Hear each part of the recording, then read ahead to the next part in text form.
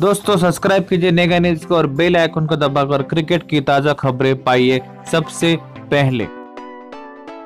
नमस्कार दोस्तों, आप टीम इंडिया को इंग्लैंड में जीता हुआ देखना चाहते हो तो इस वीडियो को लाइक और शेयर ज़रूर कीजिए। दोस्तों, भारत और इंग्लैंड के बीच खेले जा रहे तीसरे टेस्ट मैच में टीम इंडिया के कप्तान विराट कोहली ने शानदार शतक लगाया। कोहली के करियर का ये कुल तेईसवां टेस्ट शतक है।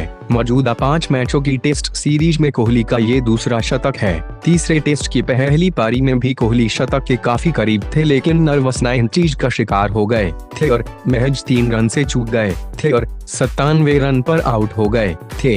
लेकिन दूसरी पारी में कोहली ने ये गलती नहीं की और उन्होंने अपना शतक पूरा कर लिया। इंग्लैंड में कोहली का ये दूसरा शतक है। वहीं इंग्लैंड के खिलाफ कोहली का ये कुल पांचवा शतक है। खास बात ये है कि कोहली ने जब इससे पहले इंग्लैंड का दौरा किया था तो वो बुरी तरह फ्लॉप रहे थे, लेकिन इस बार उन्होंने खुद को साबित किया और आलोचकों के मुँह पर ताला जड़ दिया। कोहली ने बनाया रिकॉर्ड। इस शतक के साथ ही कोहली ने एक और बड़ा रिकॉर्ड अपने नाम कर लिया है। कोहली अब इंग्लैंड की धरती पर सबसे ज़्यादा रन बनाने वाले भारतीय कप्तान बन गए हैं। कोहली के मौजूदा दौरे पर 430 से ज़्यादा रन बना चुके हैं जो कि भारत की तरफ़ से बतौर कप्तान सबसे ज़्यादा है। कोहली से पहले ये रिकॉर्ड मोहम्मद अजहरुद्दीन ने साल 1990 में 426, साल 2002 में सौरव गांगुली में तीन सौ इक्यावन रन बनाए थे। लेकिन अब कोहली ने इस रिकॉर्ड को अपने नाम कर लिया है। साफ़ है कि कोहली ने अजहरुद्दीन के 28